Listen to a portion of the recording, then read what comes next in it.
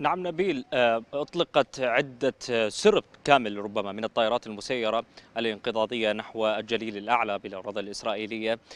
هذا الحدث هو ربما يأتي ارتباطا مع يوم أمس حينما أطلقت الطائرات الانقضاضية المسيرة من جنوب لبنان وقال بأنه سوف تستمر ربما هذه الضربات التي تنفذ بطائرات انقضاضية مسيرة تؤدي إلى انفجار في المراكز التي يستهدفها يستهدفها حزب الله. أيضا يعني ربما في هذه الأثناء نبيل قبل أن تنطلق هذه الطائرات بدقائق معدودة قد أغار طيران الحرب الإسرائيلي على بلدة كفر كلا. أما بخصوص الحدث الآني بأنه هذه الطائرات المسيرة التي تتجه من جنوب لبنان نحو الجليل الأعلى وربما تأخذ مدى أبعد كما حدث يوم أمس هي اجتازت القبة الحديدية واجتازت الطيران الذي يجوب سماء جنوب لبنان. ربما هذا التطور هو باستهدافات حزب الله يأتي ردا كما يذيل دائما ببياناته على الاستهدافات الإسرائيلية التي تنفذ في الجنوب اللبناني بالبلدات وبالتالي لا يضعه ضمن الرد المرتقب. أما بالنسبة لهذه الطائرات حينما اجتازت القبة الحديدية واجتازت الطائرات الحربية والطيران المسير الذي يحوم في جنوب لبنان ربما قد أوتت ب أو جنت ثمارها حزب الله في هذه المناطق على اعتبار بأنه حتى أنه قبل قليل أيضا حينما أطلقت هذه الطائرات المسيرة نبيل كان هناك يعني خبر بأنه لا. قد أسقطت بعض الصواريخ للدفاع الجوي الإسرائيلي بالحدود اللبنانية. بالتالي هذا ما يفسر آخر. بأنه منظومات الدفاع الجوي صواريخ الاعتراض الإسرائيلية. اسمح لي أن أشير إلى هذا التطور. نعم. نبع عاجل آخر نقلا عن الإعلام الإسرائيلي تفعيل الدفاعات الجوية للتصدي لمسيرات تم إطلاقها من جنوب لبنان باتجاه الجليل الأعلى. إذا الإعلام الإسرائيلي يتحدث عن تفعيل الدفاعات الجوية الإسرائيلية للتصدي لمسيرات يقول بأنه تم إطلاقها من جنوب لبنان باتجاه الجليل الأعلى. هذا تطور ذو الفقار يأتي بعد دوي صافرات الإنذار. في المناطق الموجودة بالجليل الأعلى في الأراضي الفلسطينية المحتلة. نعم نبيل. وبالتالي أيضا سقط أحد هذه الصواريخ في الجنوب اللبناني صواريخ الاعتراض التي أطلقت من الدفاعات الجوية الإسرائيلية. هي كانت قبل أيام كما نقل الزملاء من الأراضي الإسرائيلية بأنه قد وفدت صواريخ اعتراض إضافية مكثفة في الجليل الأعلى وفي جبهة الشمال بصورة عامة. بالتالي ربما أخذت مركزا على مشارف الحدود بين الجنوب اللبناني والشمال الإسرائيلي. بالتالي هذه الدفاعات حينما يسقط صاروخ داخل صاروخ اعتراض داخل الأراضي الجنوبية ما يعني ربما بأن الدفاعات الجوية الإسرائيلية هي قد أزادت من دفاعاتها الجوية ومن صواريخها على مشارف الحدود الجنوبية في لبنان. أيضا هو هذا ارتباطا بالطيران المسير والطيران الحربي الذي يحوم فوق جنوب لبنان ليرصد ربما ما كانت هناك إطلاق للطائرات المسيرة. على اعتبار بأن الطائرات المسيرة بالاستطاعه التعرض لها عبر الطيران الحربي والطيران المسير الآخر لكن هذه الطائرات هي عبرت الجنوب اللبناني وبالتالي هي اجتازت طائرات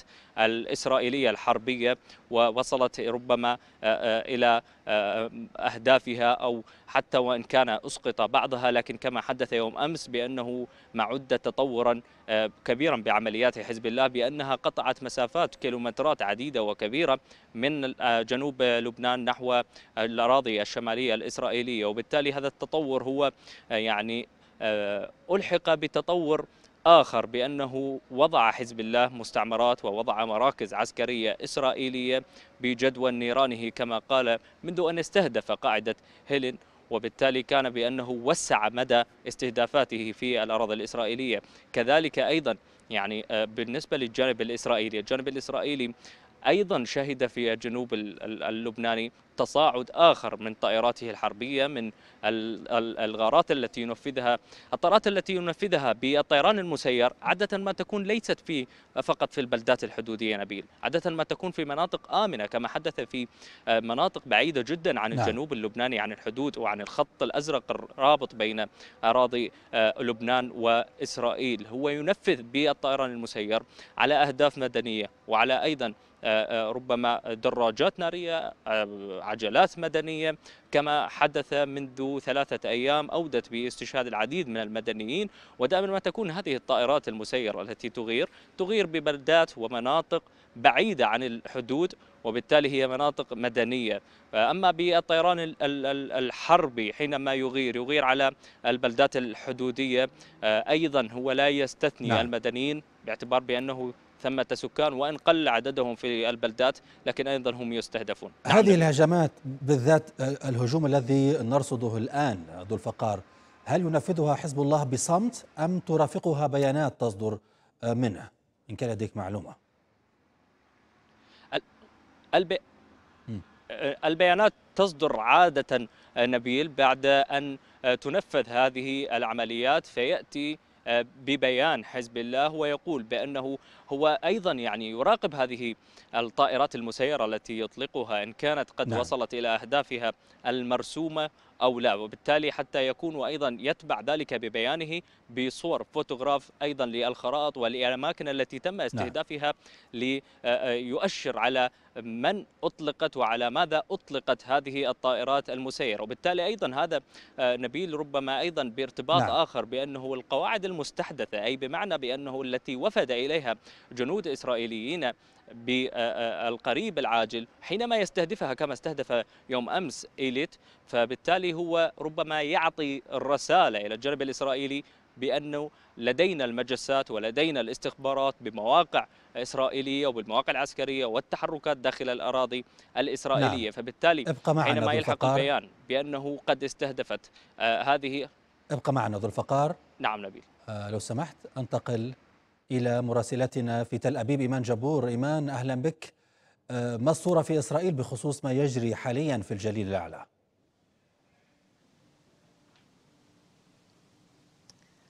نعم رأينا صافرات إنذار في عدد من البلدات خاصة في الجليل الأعلى.